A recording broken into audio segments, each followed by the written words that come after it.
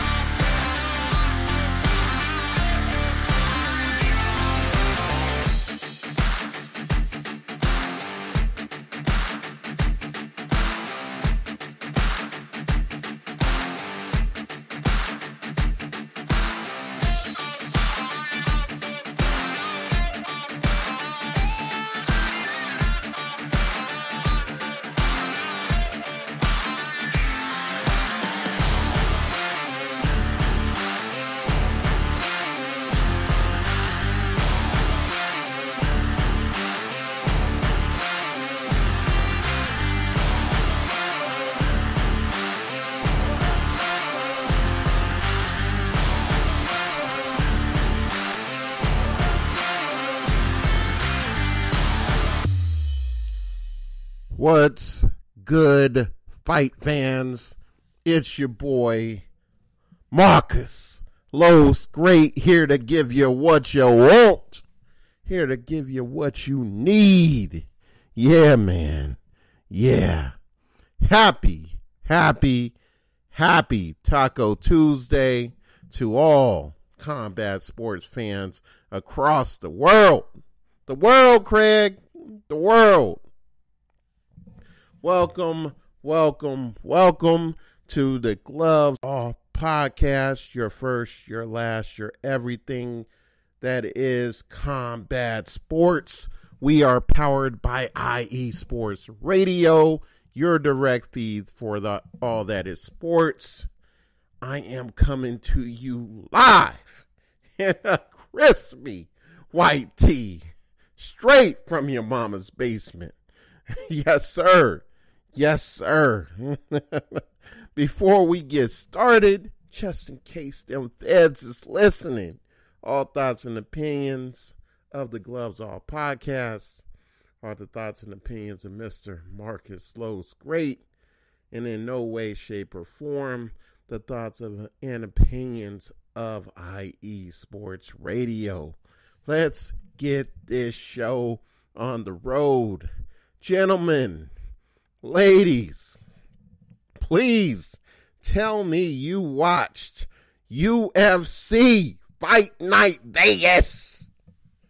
Please tell me. Because it was on and cracking. On and cracking. You know what I'm saying?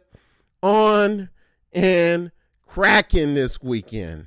Two of the fights that stood out the most were the platinum Mike Perry fight. You know what I'm saying? And then we even had a candidate for fight of the year with Poirier versus Hooker. You know what I'm saying? But before we get started on that, I want to bring your attention back to boxing back to boxing this weekend. If you had a chance, you should have got a chance to watch my boy Miguel Berchelt uh, fight this weekend. I told you guys to definitely check the boy out. Um, he's devastating at what he does, and this weekend was no different. He was successful in defending his crown. He is still, he is now 37 and 1. You know what I'm saying? And the thing that annoys me the most with boxing fans is this the fact that these men put their lives on the line. They come out here, they give us fights, and yet we complain. Yet we continue to find faults in an area that has no faults. All this weekend, all I kept hearing about is how Miguel would not fight the other champions in his division. Now, mind you, mind you, Gervonta Tank Davis has left his division. That was the longest reigning champion in his division. Mind you, Tevin Farmer, the second longest reigning champion, just lost his belt to Joseph Diaz last fight, probably about a year ago. Who is he going to fight? Leo Santa Cruz? Did you forget Leo Santa Cruz left that division as well? Did you? So, right now, the current belt holders is Miguel and Joseph Diaz. Joseph Diaz has to give Tevin Farmer a rematch. So the only other guy that he could fight is maybe Carl Frampton. And other than that, who else is he going to fight? Oscar Valdez? I mean, that is that is a good fight. That is definitely something I wouldn't stick my nose up to. But the fact of the matter is this the man has continued to defend his title. The man has cleaned out everyone that is in the rankings for his title. We need to give him his props. We need to give him his props. Yes, I would like to see him in there with Joseph Diaz or Tevin Farmer. Yes, I would like to see him in with Carl Frampton. The fact of the matter is, is any one of those fights, is it game changing? Is it going to propel him to all time status? None of those fights does that. So why are you on the man's neck? That's all I'm asking. Why are you on the man's neck? I could see if Gervonta Tank Davis was still there in the division. I could see if Leo Santa Cruz was still in the division. If those men were still in the division and he chose to duck those men, I would be first in line to chop at his neck.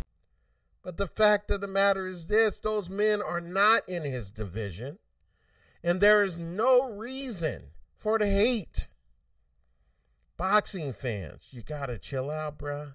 You gotta chill out.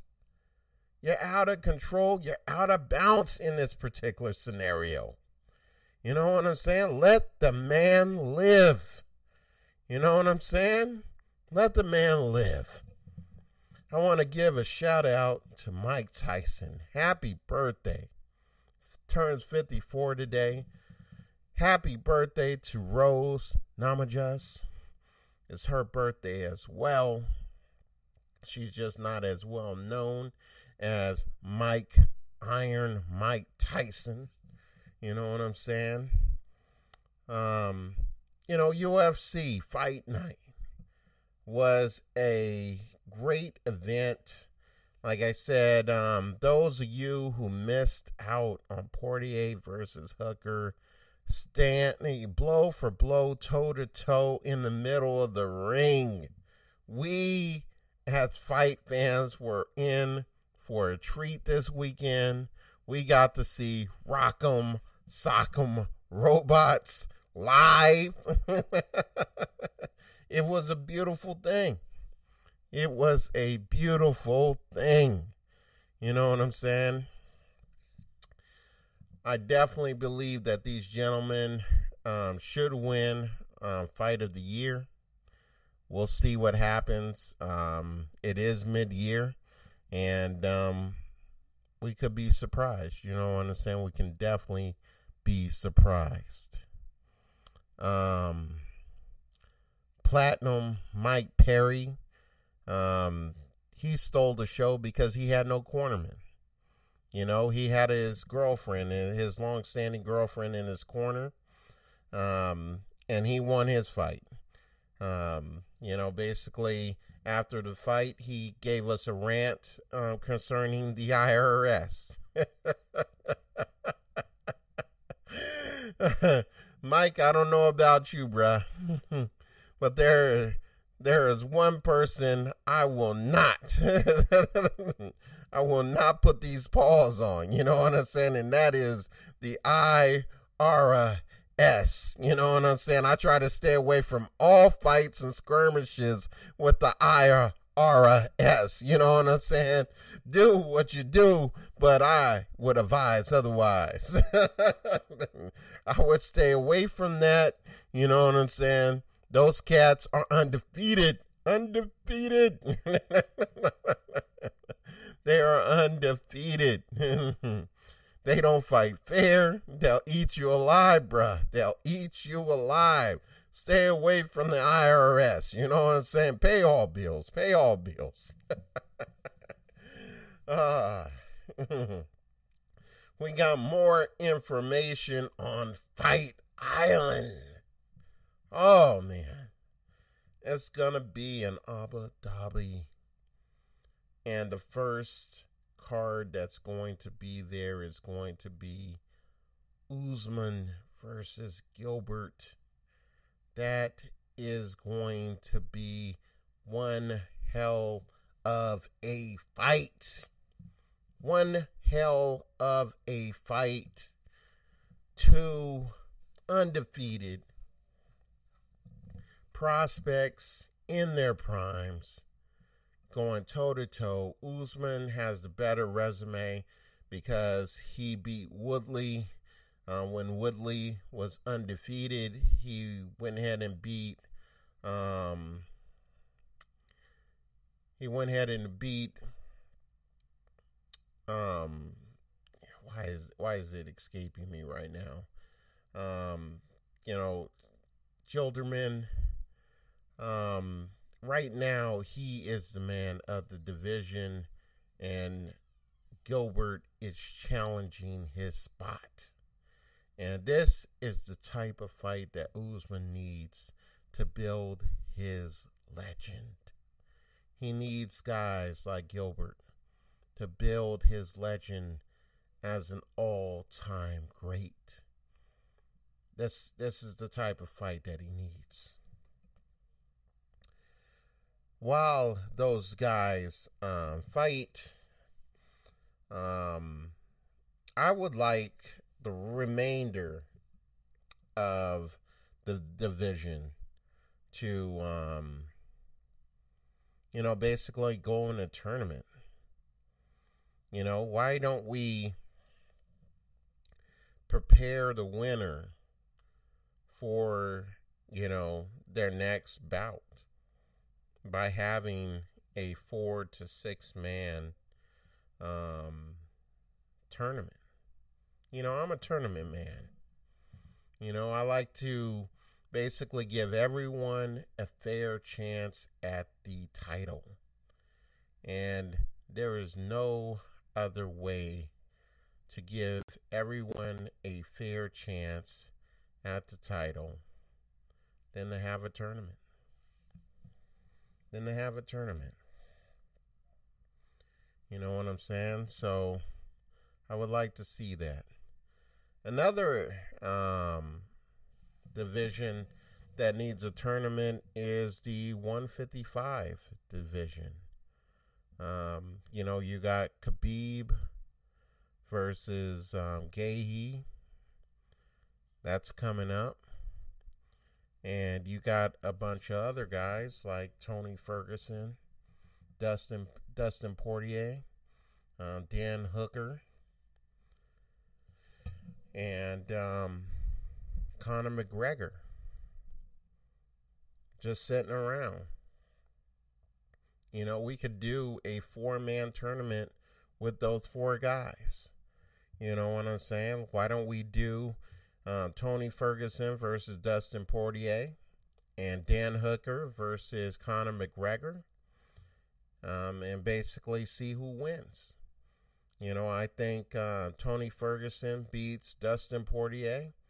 I think uh, Conor McGregor beats Dan Hooker.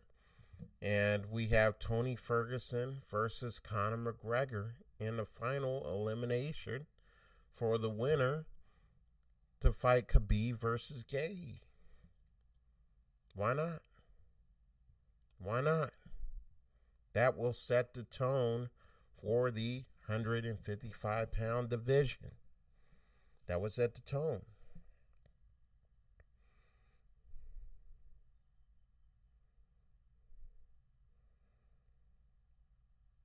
At 170, let's see who we got. We got Usman versus Gilbert. And then you got Colby Covington versus Jorge Masvidal. You got Leon Edwards. And then you got Tyron Woodley. Um, I'm to be honest. I think Tyron's done. I think he's done. Um, there was things in that fight that proved to me that he can no longer pull the trigger at his advanced age. And, um, you know, in the event that we did a tournament, it would be basically Colby Covington versus Jorge Masvidal versus, um, you know, Leon Edwards versus um, Tyron Woodley. You know, at this stage of the game, I would pick Leon Edwards to beat Tyron Woodley. And then I would also pick um, Jorge Masvidal um, to beat Colby Covington. Now, Colby T- Covington, um, even though he's a Trump supporter, dude can fight his ass off. Dude can fight his fucking ass off. And I would love to see a fight between him and Jorge going toe to toe, talking that smack, you know, bringing it to the backyard. You know what I'm saying? That would be cracking. that would be cracking. But I would pick uh, Masvidal to win that fight. And then I would also pick Masvidal to beat Leon Edwards, which would put him in line to fight the champion um, of whoever would be, you know, basically whoever would win between um, Usman and Gilbert Burns. You know what I'm saying? That would definitely um, put things in perspective. That would also clear it up. There would be no one to say that they were being ducked.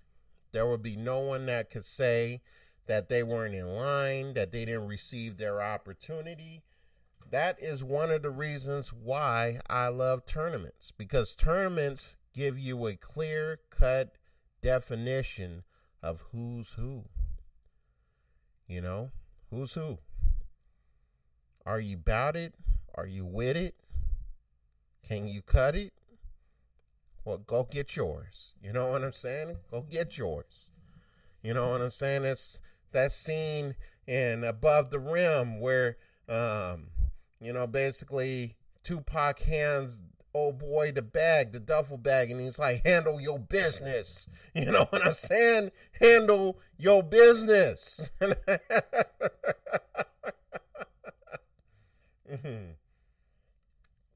There's no questions. There's no questions. We will all know who belongs at the top of the rankings at that point. You know what I'm saying? There would be no questions. You know what I'm saying? That that would be a beautiful thing. So what's next for uh, Mike Perry? You know, um, there's a couple names that kind of kicked around. You know, a name that I think would be good on his resume if he could pull it off would be Nate Diaz. That would be a good fight. Another name that no one's talking about would be Jorge Jorge Masvidal. You know, I yeah, I know I just talked about doing a tournament, but I mean, if you get a shot at Platinum Mike Perry, why not do it? You know what I'm saying? Why not do it? why not do it? You know, that would that would definitely be a great fight. That would be a great fight. You know, I would I probably wouldn't pick him to beat Masvidal, but I would probably pick him to edge out Nate Diaz. I would probably pick on the edge out Nate Diaz. Nate Diaz is a beast. Tough, tough, tough customer. But I think that Platinum Perry has something about him that would edge just it, just give him that slight edge over Nate Diaz. Now beating Nate Diaz and also beating Masvidal will give him fanfare here in the UFC. You know what I'm saying? Um, those guys, you know, Nate Diaz has a huge fan base. Masvidal has a decent sized fan base. Um, the guy with the hugest fan base is Conor McGregor. But I see no reason for in the fight Platinum Mike Perry. You know, he's got another road. He's trying to head back to Khabib. He wants to get back in the ring with Khabib. And going through Mike Perry doesn't lead him to Khabib. You know, so I can't see him taking them roads. I can't see that. Before I got on the mic tonight, mm-hmm. Um, I was watching boxing on ESPN, uh, Boxing Tuesdays. Um, tonight, if you get a chance, you guys should watch. Um, definitely check out Alex Saucedo uh, doing his thing. You know what I'm saying? Um, Alex Saucedo uh, won ESPN's pound for pound, um, you know, round of the year um, two years ago. Um, so you should definitely go ahead and check him out tonight. Uh, that would definitely be should be on your radar definitely should be on your radar. Um, Terrence says, obviously, you touched upon this. Uh, Dustin Poirier is upset over Hooker. Do you think that it's an early candidate for fight of the year? I still can't believe he took all those hits and still was still standing.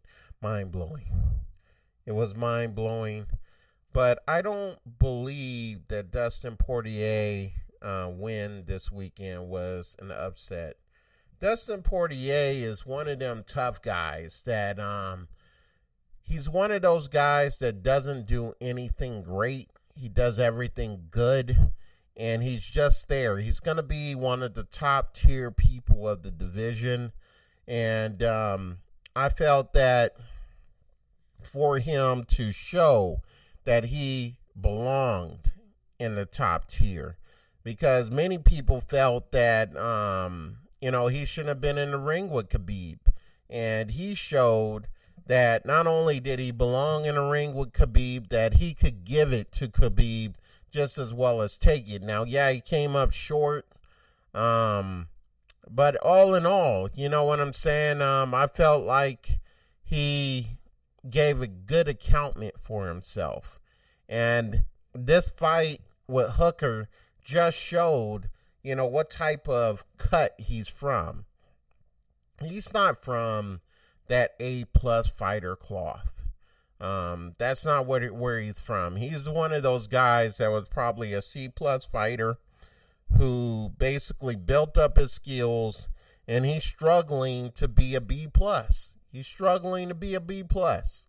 You know what I'm saying? He's not one of those guys who's uh, you know, f- you know, completely full of talent. He's not one of those guys um that, you know, received a bunch of God gift gift gift type talents. But he's one of those dudes that works his ass off. He's one of them dudes that go in the gym and bust his ass. He's he's the hard working man. You know what I'm saying? He puts on his hard hat and he goes to work. You know what I'm saying? He's the lunch pail dude. You know what I'm saying? So I could appreciate him. You know what I'm saying? I could appreciate him because he's willing to give us all that he got. All that he got. You know what I'm saying? And that's all I ask for for my fighters. Give me all that you got. You know what I'm saying? Yeah, you're probably in the ring with somebody that um you know their cloth is cut different than yours. They're they're from, you know, that gifted clan, you know? So um you know, you you aren't supposed to, you know, give them any work. But you figure out a way. You figure out how to work your way and do what you do best and you show up. So I appreciate Dustin Poirier. I appreciate him a lot. I appreciate um, Hooker. I don't think Hooker is, um, you know, going through this fight. This shows that Hooker um, isn't a top tier fighter. You know, he's going to be a B level fighter. You know what I'm saying? He's right there with Poirier. Poirier is just slightly above him. And he's in a division with guys that are like that. You know, you got Dustin Poirier who's like that. You got Ferguson who's like that. Tony Ferguson, a lot of people try to make him into this A plus um, talented type fighter, but he isn't that. Tony Ferguson, uh, Tony Ferguson is a guy that works. Tony Ferguson is just a guy who works his ass off and maximizes his talent level. So that is one of the reasons why I appreciate Tony Ferguson. He gives us all that he has. You know what I'm saying? And unfortunately, the guy that is running that division He's an A plus fighter. You know what I'm saying? So I don't see any of those guys beating him.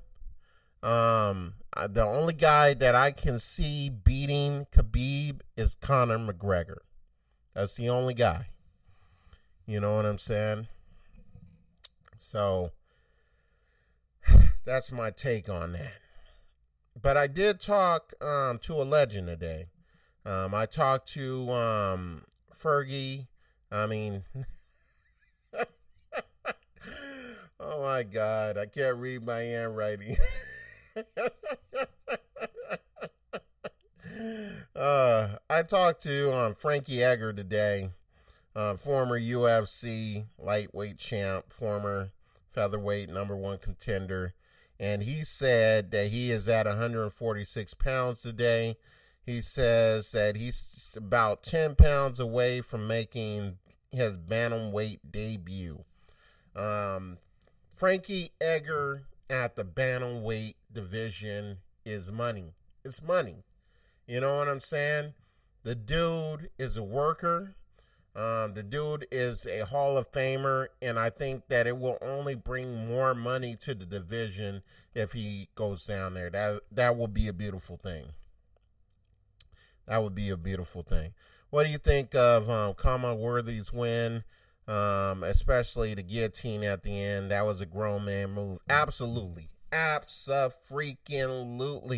He pulled that out by the hairs on his chinny chin chin. Before that, he had made a mistake. He had tried to do a Superman punch. He was off balance, got caught.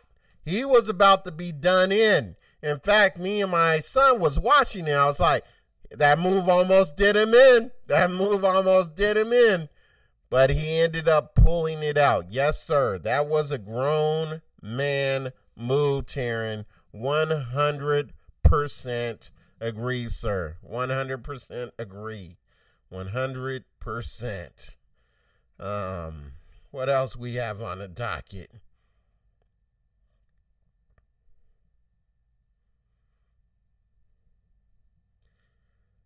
So we did the tournaments. Did the tournaments. We did Fight Island. Mike Tyson's birthday. Uh, Platinum Mike. Mike Perry. What else we got on the docket?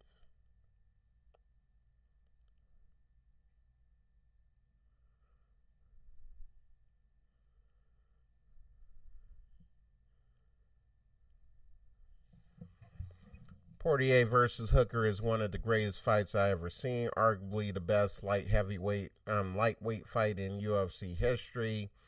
Everything makes MMA amazing was on display in that fight at an exceptionally elite level. Wow. What do you think? Um, I agree to a point. I don't think it's one of the greatest fights that I've ever seen uh, because I've been watching MMA for probably I want to say about 15 to 15 to almost 20 years plus. So I've seen some great fights. It was definitely up there. Um, it definitely showed um, the grit and determination at that level. So I definitely think they put on a performance for this time. Um, you know, I would like to see um, if it ends up being fight of the year. It definitely has my vote so far as fight of the year candidate. So um, I definitely uh, would vote for it. I definitely would vote for it. You know, one of the key takeaways is that I took away from that fight is just that Poirier is um, just so difficult to um, just to take out. That guy, he has a a motor in him that just keeps running. You know, just when you think that you have him hurt, um, he just keeps throwing shots. So at no point in time do you ever know where he is. You know what I'm saying? You have to gauge it a different way. You can't gauge it based on the fact of you landing the harder shots. You know what I'm saying? I thought both fighters had great footwork. I felt that um, Poirier did land the more effective shots, um, but Dan Hooker was no slouch himself. You know, he was definitely putting on an accountment um, for himself. You know what I'm saying? Um, I definitely thought that he put on a, a great accountment for himself. What do you think about the Herb Dean takedown of Tanner Boser? That was money. You know what I'm saying? Herb, old Herb was showing you guys, man. He was showing you youngsters, man. You know, don't get out of control in that ring while he in there. You know what I'm saying? Just one swift move, he'll take you out. He'll take you out. Good old Herb Dean. You know what I'm saying? yeah, it was beautiful. It was beautiful. uh-huh. Jaron says, "Who has the best performance so far, fight fighter wise?" Uh, I don't know. I don't know. I'm trying to think back. Um, because the Jon Jones Dominic Reyes fight was pretty good. I don't know. That's a good question. You got me stumped. You got me stumped, Taryn. You got me stumped. I don't know. Um, but right now it's at the, you know, like I said, it's in the front of the line based on what I've seen so far. Because, um, you know, we just haven't really seen any wars. Wait, wait, wait, wait, wait, wait. Uh, that was in December, so it's not going to count for this year. Uh, yeah, we just haven't. We've seen bloody messes and fights, but we just haven't seen a consistent toe to toe, drag out, barn burning type of event yet. And the the one that's at the top of the list right now is Poirier versus Hooker. So yeah, that's who I would put right now on the top. That's who I would put.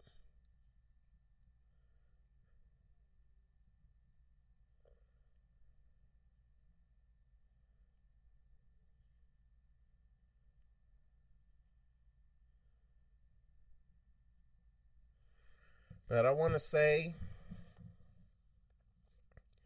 shout out to all you who click in, tap into your boy week in, week out to the Gloves Off podcast. I appreciate you, man. Uncle Marcus appreciate ya. You know what I'm saying?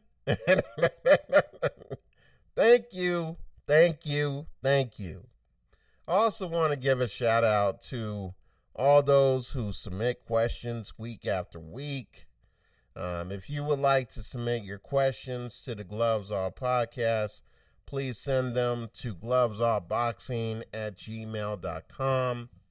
You can also find me on Twitter and submit them via my inbox at Gloves Off Boxing. Um, you know, and if you want to talk boxing or MMA, I'm about that too. You know what I'm saying? I'm looking for all the smoke. You know, I'm the heavyweight champion of the free world.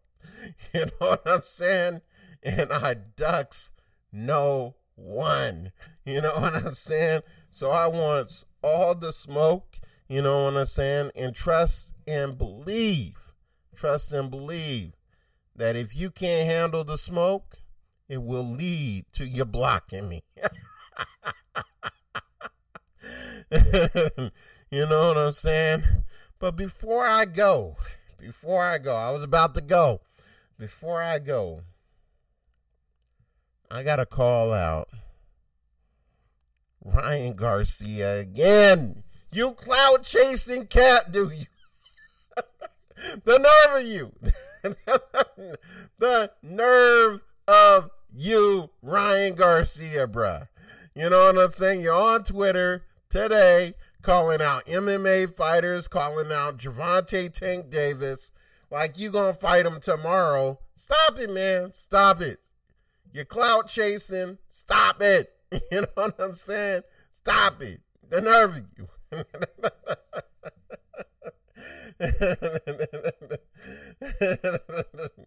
the nerve of you. we all know your promoter is not going to allow you to fight Gervonta Tank Davis at this level. And not at this time. Not at this time. He is trying to cash out. So stop getting online. Stop with the Twitter fingers. Stop trying to to what is the word that I'm looking for? Stop trying to make us think, make us believe that the fight is going to happen next week or something. We are smarter than that. We all know that fight is at least two years off from happening. You know what I'm saying? You and Devin Haney getting online, acting like you guys are going to fight next. The nerve of you. The nerve. the nerve. we all know that's not happening anytime soon. Okay? It's your boy, Marcus Los Great. I'm out. I'm on to the next one.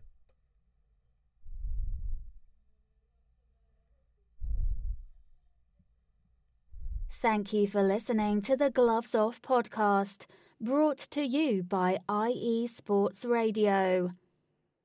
Ember